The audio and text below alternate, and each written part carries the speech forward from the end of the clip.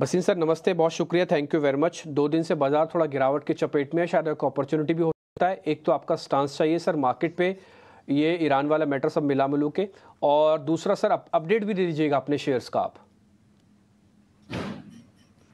Good morning आपको भी और अभिषेक को भी और सृष्टि को भी और सबको बैसाखी या हैप्पी न्यू ईयर या नया साल शुरुआत होता है। और सब जगह जिस जिस वे में आप सेलिब्रेट करते हैं तो देखिए आपको लास्ट वीक से कह रहे हैं थोड़ा सा मनी ऑफ़ द टेबल लीजिए प्रॉफिट बुक कीजिए कैश में बैठेंगे तो मौका मिलेगा। पहले अपडेट दे दूँ, आपको बाईस हज़ार सात सौ की बुक दिलाई थी, एक सौ अट्ठावन और साठ में ढाई सौ का टारगेट हुआ था और सौ उसी दिन हिट हो गया फ्राइडे को। आज ये और दे देगा। दूसरा मैंने आपको अपडेट दिया था कि आप लीजिए हिंदुस्तान लीवर में। अभी भी कह रहा हूँ the best rural play is available at a 52 week low और जैसे जैसे सरकार की स्पेंडिंग रूरल एक्टिविटीज़ पे बढ़ेगी इनकम आएगी और ये जो आपकी गिरावट पल्सेस और इन्फ्लेशन में I think Lever is the best price ever at this price तो 2200 का स्टॉप लॉस है लीवर में निवेश कीजिए, साढ़े चौबीस का भाव दिखता है। उसके सामने मैंने भी सेल कॉल की थी, मैं अभी भी बोलता हूँ take some money off capital goods metals are rising which is negative for margin of capital good तो कैपिटल गुड पे मैं नेगेटिव हूँ। और मैंने एस बी आई लाइफ और वेदांता बाय की है। आज फिर मैं दोहराता हूँ। वेदांता में अब आप स्टॉप लॉस बढ़ाइए, और बढ़ाइए। तीन सौ पैंसठ और सत्तर में मिले तो वेदांता लीजिए। 400 से 420 का टारगेट है। और आपका स्टॉप लॉस अब हो गया है 359 तो Vedanta is a must have in your portfolio because aluminium silver zinc सारी जो नॉन फेरस बास्केट है, वो वेदांता की बात है। दूसरा आज मेरा बाय है ओएनजीसी आपको इसकी सिंपल रीजनिंग दे दूँ कि हमने लास्ट बीस साल में कभी नहीं देखा जो चेंज और ओएनजीसी की profitability will be at an all time high दूसरा, इसकी जो प्रोडक्शन ग्रोथ है और मार्जिन है दे विल बी हाईएस्ट साथ में वी आर के गैस में इनकी बहुत ज़्यादा रीच है। तो मुझे साढ़े तीन सौ पौने चार सौ का भाव दिखता है स्लाइटली लॉन्गर टर्म आज के लिए आप सत्तावन रुपए का स्टॉप रखिए दो सौ पिचासी का target and last but not कीजिए L N T Siemens ABB इनमें प्रॉफिट लीजिए। डिम्पी जी क्या है? मिडिल ईस्ट की टेंशन रही तो इनका काफ़ी बिज़नेस वहाँ कूलिंग टावर वगैरह से आता है। वो इनके लिए नेगेटिव है। And rise in commodities is also negative for them so this would be my summary buy ONGC buy Vedanta and sell Siemens okay okay, तो आज की recommendations clearly O N G C यहाँ पे खरीदारी करनी है साथ ही वेदांता पे अभी भी भरोसा कायम है। बहुत ही निचले स्तरों से भसीन जी इस पर रिकमेंडेशन दे रहे हैं। अब स्टॉप लॉस ट्रेल करने की बारी है और कैपिटल गुड्स हमने देखा था कि एबीबी इंडिया पे भी एक सेल रिकमेंडेशन थी आज सीमेंट्स पे सेल की कॉल आती हुई। भसीन जी की तरफ़ से बहुत बहुत शुक्रिया भसीन जी, आज हमारे साथ जुड़ने के लिए। और बैसाखी की बहुत बहुत शुभकामनाएँ आपको भी। और साथ ही अगर हम देखें तो आज आपकी कॉल्स भी हमने नोट डाउन कर ली हैं।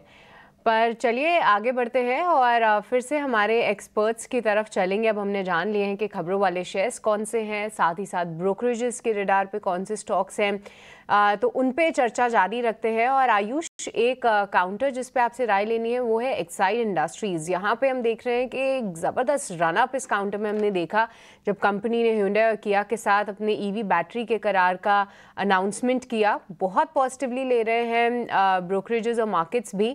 400 के स्तर तो एक्साइड इंडस्ट्रीज़ दिखा चुका है। आज कौन से लेवल्स ध्यान में रखें?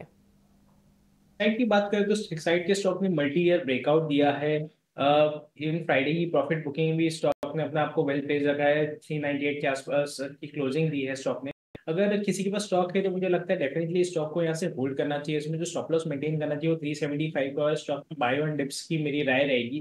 क्योंकि ये भी क्योंकि जैसे ग्लोबल मार्केट थोड़े से वीक हो रहे हैं तो मुझे लगता है कि नीचे में थोड़ी सी प्रॉफिट बुकिंग यहाँ देखने मिल सकती है। और अगर नीचे के लेवल्स में थ्री फिफ्टी के आसपास ये स्टॉक मिलता है तो इसमें वापस री एंटर करना चाहिए। आगे बढ़ेंगे और ये समझेंगे कि आपके लिए खबरों वाले शेयर कौन से हैं।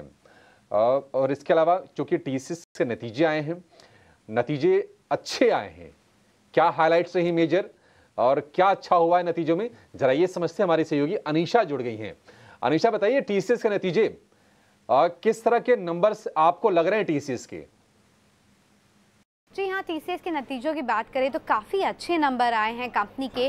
जो टॉप लाइन है, वो इन लाइन है एक्सपेक्टेशन से। 1.1 परसेंट का कॉन्सेंट करेंसी ग्रोथ आया है। And even dollar revenue and rupee revenue compare करेंगे तो इन लाइन से स्लाइटली लोअर है। बट जो बिग सरप्राइज़ आया है नंबर में, वो है मार्जिन पिक्चर बिकॉज़ मार्जिन आया है ट्वेंटी स्ट्रीट मान के चल रहा था। कि 25.2 से 25.3 परसेंट के आसपास मार्जिन आएगा। तो एक बड़ा बीट आया है मार्जिन में। इसके चलते प्रॉफिटेबिलिटी भी हमारी उम्मीदों से बेहतर है। प्रॉफिट फिगर आया 12,400 क्रोज जबकि हम जस्ट अराउंड 11,980 क्रोज मान के चल रहे थे। जो सेकंड बिग सरप्राइज़ आया है वो अर्निंग्स में, वो है डील विन का नंबर 13.2 बिलियन डॉलर का डील विन नंबर आया है. स्ट्रीट आज से 10 बिलियन डॉलर मान के चल रहा था. एंड क्वार्टर क्वार्टर देखें तो काफ़ी बड़ा जंप आया है डील विन में भी. अट्रिशन कम हुआ है, लेकिन हेड काउंट भी क्वार्टर क्वार्टर कम ही रहा है. मे बी क्यू से हम लोग पॉजिटिव नंबर देखेंगे बिकॉज़ जो रिपोर्ट्स उभर कर आ रही है, उससे पता चल कंपनी ने कैंपस हायरिंग रीस्टार्ट कर दिया है तो मे बी उसका इम्पैक्ट क्यू वन से आएगा। थोड़ा प्रॉब्लम है बीएफएसआई में, क्योंकि वो डिक्लाइन कंटिन्यू कर रहा है। नॉर्थ अमेरिका में भी डिक्लाइन है आपकी बार बट वो मेकअप हो गया है इंडिया बिज़नेस और यूके से बिकॉज़ दोनों पॉजिटिव रहे हैं एंड मैन्युफैक्चरिंग का भी परफॉर्मेंस काफ़ी अच्छा रहा है। तो ओवरऑल अगर यू नो टॉप लेवल पे देखेंगे तो काफ़ी अच्छे नंबर्स हैं बट मैनेजमेंट से हमें बीएफएसआई नॉर्थ अमेरिका इन सब के बारे में और डिटेल्स चाहिए होंगे। ओके okay, बहुत बहुत शुक्रिया अनीशा। ये फ़र्स्ट कट टीसीएस के नंबर्स पे देने के लिए पर मैनेजमेंट की कमेंट्री भी आ चुकी है और ब्रोकरेजेस की भी रिपोर्ट्स आ चुकी हैं। तो आइए समझते हैं कि ब्रोकरेजेस ने क्या कुछ चेंजेस किए हैं अपनी रेटिंग और टारगेट प्राइस में और क्या कुछ नज़रिया बन रहा है टीसीएस पे? और ये पूरी डिटेल्स लेकर पूजा हमारे साथ जुड़ चुकी है। पूजा बताइए क्या कुछ बोल रहे हैं ब्रोकरेजेस टी पे? जी, काफ़ी मिली जुली रिपोर्ट्स आ रही हैं टीसीएस के नतीजों पर। सबसे पहले उन रिपोर्ट्स से शुरुआत करेंगे उन्होंने टारगेट प्राइस बढ़ाए हैं टीसीएस पर।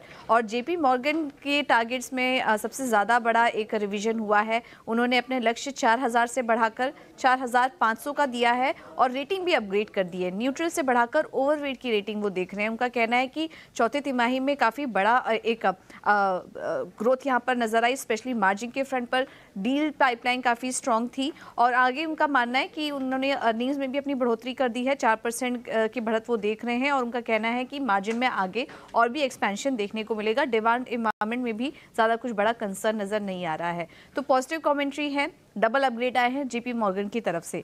इसके अलावा बैंक ऑफ़ अमेरिका सिक्योरिटीज़ ने अपनी न्यूट्रल की रेटिंग बरकरार रखी है, लेकिन लक्ष्य बढ़ा दिया है। चार हज़ार चालीस से बढ़ाकर चार हज़ार एक सौ पच्चीस का देख रहे हैं। आईसीआईसी सिक्योरिटीज़ ने होल्ड से बढ़ाकर ऐड की रेटिंग दी है और टारगेट प्राइस भी 4,330 का वो देख रहे हैं। वहीं जेम फाइनेंशियल्स ने टारगेट बढ़ा दिया है 4,130 का टारगेट अब वो रहे हैं और नोमुरा की अगर बात करेंगे तो वहाँ पर उन्होंने टारगेट प्राइस अपना 3160 से बढ़ाकर 3240 का दिया है। ये कुछ रेटिंग अपग्रेड हुए हैं। लेकिन सीएलएसए ने जो है वो अपना लक्ष्य बढ़ा, घटाया है और कमेंट्री भी यहाँ पर नेगेटिव देखने को मिल रही है। इनका कहना है कि मैक्रो रिवाइवल में कुछ स्लो डाउन देखने को मिलेगा।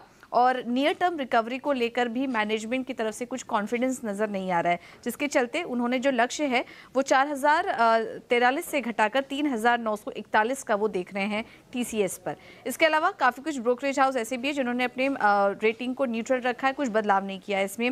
गोल्डमैन सैक्स ने रिटेन अपनी खरीदारी की राय बरकरार रखी है। लक्ष्य देख रहे हैं चार हज़ार तीन सौ पचास का। आईसीआईसी सिक्योरिटीज़ ने चार हज़ार तीन सौ तीस का लक्ष्य दिया है। वहीं जेएम फाइनेंशियल्स ने चार हज़ार एक सौ तीस का लक्ष्य दिया है। तो ये कुछ रिपोर्ट्स हैं, काफ़ी मिक्स रिपोर्ट्स हैं। जेपी मॉर्गन एक तरफ़ काफ़ी स्ट्रॉन्ग कमेंट्री दे रहा है, वहीं सीएलएसए की तरफ़ से कुछ नेगेटिव कमेंट्री निकल कर आ रही हैं।